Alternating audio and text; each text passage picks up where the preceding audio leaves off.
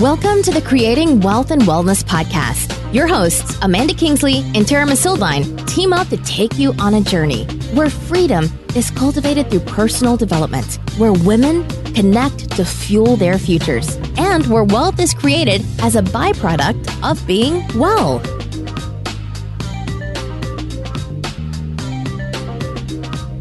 Hi, everybody, and welcome back to the Wealth and Wellness Podcast. Uh, this is Terra Missildine, one of your co hosts, and today you lucky people are going to get to know Amanda Kingsley, my co host, a little bit better. Uh, last week, she actually interviewed me with some really awesomely fun questions that got me thinking and really made me realize how grateful I am for my life the way that it is. and I can't wait to ask her these same questions. So hopefully you remember them. Hopefully you had a chance to jump on um, Facebook or the interwebs and let us know what you thought about those questions and your answers. But for now, it's time to jump in with Amanda and find out what hers are. So, Amanda, are you there? I'm here. Hi. okay. So I'm um, we figured it would be really important to let everybody know what your answers are to the same questions that you asked me. So I'm going to start in the same order and I would love for you to give us what a sneak peek into your daily life is. What's a day in the life of Amanda Kingsley? I love it. And I, I'm giggling because I think it starts very differently than yours. I think your answer was, I'm a morning person. And my answer is, I'm not a morning person. but fortunately, I have, so I have three beautiful children. Um, they are aged, well, 13 and 16. Wow, teenager. Next Sunday, I'm going to have a teenager. So she's 13. We also have a 10 year old daughter and we have a three year old son. And of my three children, my middle is an early riser. So she oh she was that kind of kid who no matter when she went to bed, she would wake up at the same time. It was like it wasn't super crazy early, but it was for me, I was like, ah I don't like morning. And both my parents are not really morning people either. We were all sleeper inners.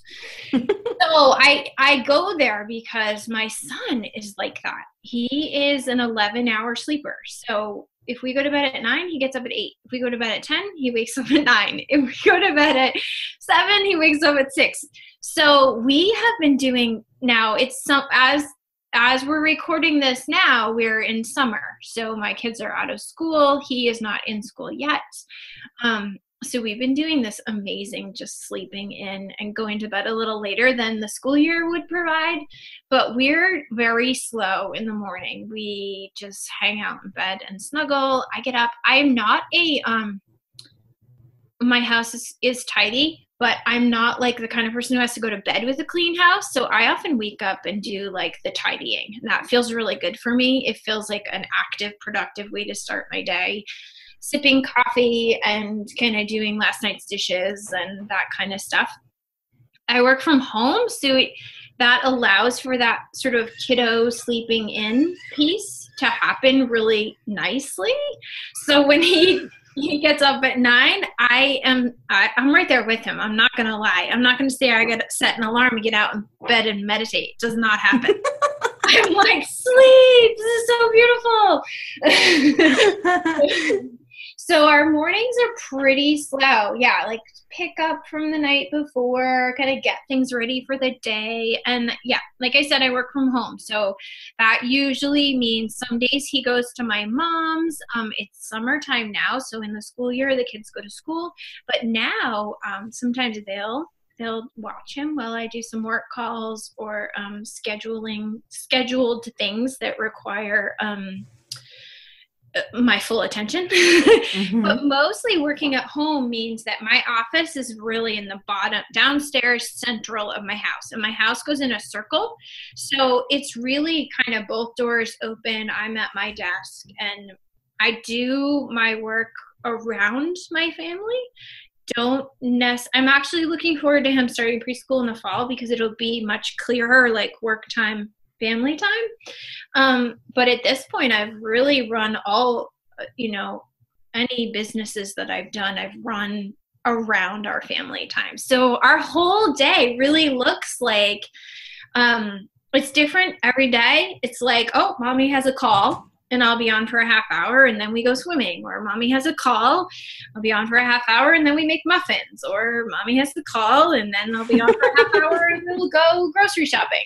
So we have a very, but it's, it's really how I operate. Like I am not a structured person at all. I am like, let's see what the day brings. Um, maybe I'll write a blog post today. Maybe I'll save it for tomorrow. Maybe I will this. Uh, so we have a really fluid in and out kind of day. And that's what most of my days look like. So because I work from home, it can get a little tricky like where's family time where's work time so i don't have um, i don't have the office that i go to and leave everything behind so i try and reserve like three to at least seven but I try and reserve three to eight because when they are in school, that's like they come home from school and then dinner prep and sports or anything like that. So I really work kind of nine to three and then whatever happens after eight o'clock. But the work that I do calls for some flexibility in evenings. So I do do a lot of work at night with people.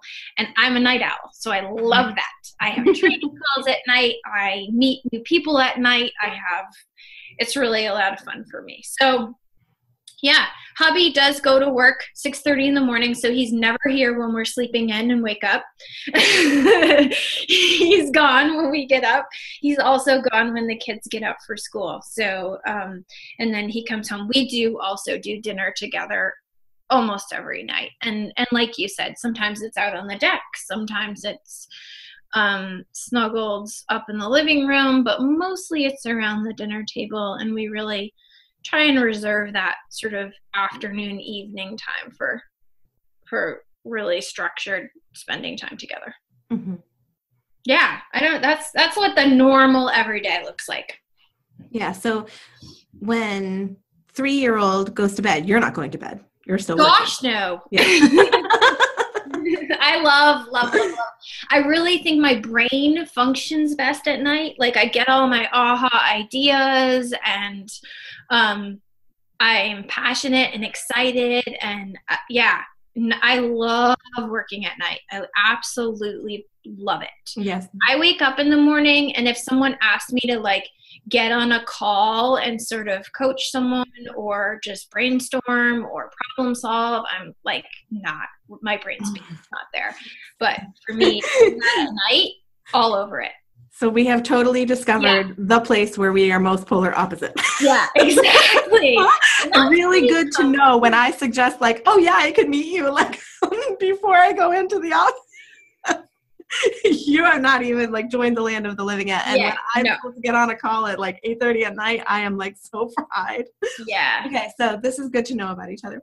All right, so mm-hmm. I want to jump into some. Or uh, do you feel complete with the day? Yeah, I mean it's really, really fluid. I, I don't necessarily believe in balance. So I, I you know, the work-life balance, but I do, and I think we talked about this maybe on another podcast. But I, I do think we have sort of a nice balance of like I really love that I can be I can be working and they can run in with a owie and I put a band-aid on or I'm working when I get them off to you know I get them off to school and I'm working and I don't know it's just really fluid here like it kind of all works together so mm-hmm. we have the chaos balanced pretty well that is good a, a chaotic life can be challenging Or I know working from home is really challenging for some people it's like well, how do you do it when they're coming in and out all the time? And I'm like, well, that's the beauty of it to me is that I'm mm-hmm. here. Yeah. You know, so something happens and they're upset about it or they want to celebrate with me, like I'm here and I mm-hmm. just step away and I do that. And the, I think what's awesome about the online world these days is that you can, right? If you read an email and then your kid comes in and needs help, you just step away and you come back to the email. Or if mm-hmm. you're sending a message, even a text, it's like really easy to do that for me to just move between one and the other. Yeah, yeah, that's awesome. I've been curious what um, what differences there would be because I know you're mostly from home and my businesses are not from home. Yeah.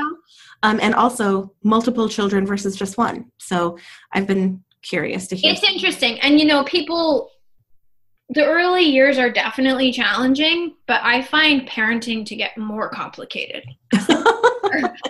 you know, it's like, yes, it's challenging to be waking up all night and changing diapers and potty training. And, you know, there's a lot of intensity in the mm-hmm. early years, but the scheduling and the um, problem solving just gets, I think it's, actually more challenging as they get mm-hmm. older. It was much easier. I'm glad I started my business when my youngest was an infant, not when he was three, because I probably would have quit by now. It's yeah. So one of Aria's favorite new things to say to me whenever we like disagree on something or we're having a battle of wills, she looks at me and puts her hands on her hips and she says, "Mom, what is the point of you right now?" it's so like I it it sounds so fresh, but like it, doesn't, it doesn't like feel. She doesn't mean it that fresh. like I'm not understanding right now. Walk exactly. I don't know why you're doing this. Let me have my way. Like, what is the point right now? That's so funny. oh my goodness. Yeah. Oh well, mine's not so lovely. Mine is. You're so mean. Oh. That's my kid. You're so mean. So mine, mine makes me like have all of these existential like wonderings because her one right before this was Mom, you're making my choice gone. You're making my choice gone. And I just don't even know what to say. Okay, so Amanda, what is your superpower? Um, well, gosh, I think part of my superpower is what I just said. Like, I'm a really good problem solver. Yeah. So I don't get like super stressed about like that didn't work. I'm mm-hmm. just like, mm-hmm. oh, let's try it this way. So I'm not afraid to jump into things and then I'm not afraid to rearrange a gazillion times. So people will often come to me and I'm like, well, why don't you try this? And like, I didn't think of that. Mm-hmm. um, and that probably is why working from home works so well for me because I just like it, uh, one minute to the next, I'm just in a constant state of problem solving. And I love that. I don't get frustrated by that. Like, I don't need super quiet, structured time to do what I do. Um, so, yeah, I, I of figuring stuff out. And and I would say my superpower can also be my fault because some people don't want their problem solved. And it's really hard for me to not be like, why didn't you try this? So that might be my weakness is that like I want to solve everyone's problems because I know I'm good at it, but they don't all want their problem solved. So. Kryptonite, unsolicited advice. Yeah. that might be my that's my i don't know. All right and did you did you have a spirit animal that you wanted to well mention? i think that's really funny because there's been a couple times in my life where i've had like uh, this is this is gonna sound crazy. Um because it's doing it right now and you probably are watching me swat away a fly I I'm the kind of person who's always googling like spirit animals and mm-hmm. angel meanings and like all kinds of stuff like that because I don't fully understand it all, but I believe in it. So I'm always like, well, what does that mean? This is like happened to me one other time where this fly, like one fly, and it's it'll like land in this way that it's like trying to tell me something versus I'm like, oh my god, this fly is back. but it's really fun if you Google fly spirit oh my gosh, now I'm gonna have to. Yeah, everyone's gonna go Google. I do that a lot. Like if I'm driving and a deer runs across the road, I'm like, all right, what do you have to tell me? What do you want mm-hmm. me to mm-hmm. know? Um, but awesome. yeah, I, I do listen to to messages, you know, the 11 11s of the day and that kind of stuff. But I'm not, like I believe in it all. I'm not super not dogmatic about one or the other. Yeah, yeah. I think life is really fascinating and throw it all into the mix and get curious about it. Yeah, yeah, I agree. I think that's our archetype showing though. all right, so this one I I really like. Um, this was was fun for me to think about. If money was no object, what would you do all day? Mm. Um, well, I think my answer is similar to what yours was last week, which is I wouldn't really change a lot. Like, I love what I do. I love working from home. I love helping people. Um, I love meeting new people. I love problem solving. um, mm-hmm. I love creation. I do a lot of creation in my work. But I do, I mean, I'll be honest, like, I love where my business is headed and I love the path that we've been on but there's some financial stress in my life that mm. definitely mm. impacts how we live for instance like even something like let's go to the museum well with five people you're talking about an it like a budgeted adventure not just let's go to the museum for the afternoon mm-hmm. so i think those are the kinds of things that will change for me when money is really when I feel so, and even as it's coming in, I'm like, okay, is this really happening? Are we staying here? So I still have like up in the air kind of questions. And when I know for sure things are set, like we've got a stream of multiple streams of steady income, those are the kinds of things that will change. It's more like, let's go to the city for the weekend, not if we go to the city for the weekend, we're running about a thousand bucks for like an yeah. adventure. So again like i just i don't see it changing a lot. It's more like up leveling it all. I i love where we live. I could see moving but i also could see not moving um travel. But the day to day would be very similar. It just would be like less stress about it like mm-hmm. yeah, yeah so kind of wrapping up that thought with the next question is you know a year five years from now what do you not want to be doing because I feel like these questions are really yeah. tied. I know it's super interesting, isn't it? It's a question we ask ourselves less, I think, than like, what do you want your life to look like? Like that's pretty common in sort of like the coaching, entrepreneurial, um, personal development world, but we don't always ask ourselves like, what do we not want it to look like? Yeah, like what do you want to stop doing? Yeah, what do you want to stop doing? Um, well, I do want to stop stressing about money. it's a really good one.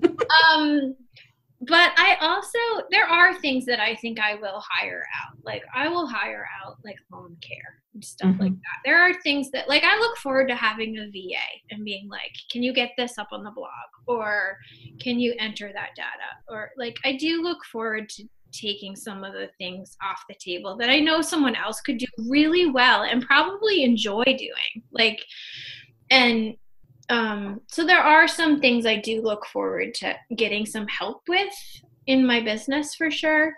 Um, more of the day to day kind of finishing touches. yeah. But as far as our family life, yeah, there are jobs that I want to not be doing, like like lawn care and maybe even cleaning. Maybe I need a cleaning company like Sarah. you know, I don't mind the daily like dishes and laundry and that kind of stuff, but I think if I'm being honest with myself, that's the kind of thing I would I would probably hire out because it yeah. kind of weighs on me in a way. Um, well, speaking from experience, though the financial awareness is still definitely there for me, I have many times had an assistant and I do right now and I very highly recommend it. yeah, I know. It's like a jump really that awesome. people make that changes everything, but it's a really big jump to make. Yeah, it is. You've never it had it. Until you've had it, and then it's one that you need to make again and again if you don't have an assistant done anymore. yeah. I guess the other thing I want to not be doing, here's an honest answer for you. Um, I do because I have because I'm still in the growing and getting to the momentum stage of my business, I do spend a lot of time like checking my phone or checking this. I do see that fly. Yeah, right? I'm going to have to Google it. I know, the fly. So I do look forward to business having such a momentum that I'm checking less because I already see the difference in where I was three years ago, where I was now. Three years ago, I was like, oh, someone sent me a message. What does it say? I can't wait to answer. And now I'm like, someone sent me a message. I'll get to it later. But I look forward to that increasing so I'm not spending as much time like in momentum phase. I look forward mm. to that. So like, not building momentum, but more maintaining momentum. Yeah, maintaining. Yeah, in in structured Cool. That's a very good awareness. I like that one a lot. All right. So moving into our final question. Ooh, and look at that. Oh my gosh, this is exactly what happened in our interview, it did. Um, so if we are, when we are sitting right here a year from now on this podcast together, celebrating what a great year it's been for you, what does everything look like? Hmm. I guess it's kind of similar to some of the other answers, and it doesn't look that different. It's very up leveled, right? It's like I feel I keep telling people I feel like I'm on I know I'm on the right track. It's just the speed at which it's going to happen. So I I do feel like with him being in preschool and life feeling like a little more structured as far as like getting work done and then having those breaks, I do feel like this is going to be the year where there's a a quicker moment like a quicker shift um Whereas now I feel like I'm on the slow and steady path. Mm-hmm. And I think that the next year is going to be a shift in that direction where it's a little less slow and steady and more like, whoa, we're in it. Like, this yeah. is good. this is really good. We made some quick progress. But I, he's been home and it's been awesome. And I do work a lot with, I'm the kind of person who like set up the game in front of my desk and he plays and then I get down and I build a tower and then he knocks it over and it's like so we we work together a lot but um I think having him in preschool is going to be a big shift. So I have a feeling next year is going to feel like, oh, that's what it that was the thing I was waiting for. That like mm-hmm. it took off. I had a few stages like that, but I think I think next year is going to be a game changer. Yeah, I get the same feeling. Yeah. I feel like that I, I can't wait for everybody to come along this journey with us because I feel like it's going to be this way for a lot of people. I know that last year was a very challenging year for a lot of people that I know, myself included. Mm. Um, and it was just one that like, you know, sort of knocked everything down and cleared canvases getting ready for what, you know, this this immediate future was going to bring. So I can't wait to see what that is. Yeah, I'm ex- I'm really excited about this podcast journey and where it's headed. And just I am if you follow me on social media um, or anywhere, I am just all out there. So I, I'm going to share the journey of what the year looks like with everybody in a really transparent way. Um, cool. And I'm excited to see what that looks like, and and hopefully we can hear from our listeners what their journey looks like in the year as well. Yeah, like even if um, you, dear listener, even if you could answer just one of these questions with us, I would love to know what we can celebrate with you a year from now. Mm. Um, putting that out there and letting this whole like this current community and future community help you manifest that. Just imagine the boom that we can make for each other. It's really awesome. So even if you can only do that one, tell us what we can celebrate with you in a year. Here's one thing I want to celebrate in here. I'm going to say it out loud on air. There is a book that needs to be written, yes. and it will either be mostly written or written in a year. That whoo, said woo. it out loud. Woo. Do it on air. We all heard it. it's at the top of my to-do list, um, and I'm really excited about it. Yeah. So we'll have that mm-hmm. in the works. All right, awesome. Thank you, Amanda, as always. Um, next week, we intend to have a chat with you all about what gratitude and asking looks like to us. so please join us back here next week. Um, in the meantime, make sure you connect as always, and we will see you then. Thank you. Thanks for joining us for another episode. If you haven't already done so, please do us the honor of leaving a rating and review on iTunes. And check in with us on social. Amanda Kingsley is a work from home mother of three. Her mission is to free parents from financial stress so they can spend more time being present with their children. Learn more at her website, thewhyhive.com. Terra Missildine is a passionate entrepreneur, founding several businesses over the last 15 years. She's currently living the adventure of being a CEO, mom, and collaborative coach. Find her at allin.life.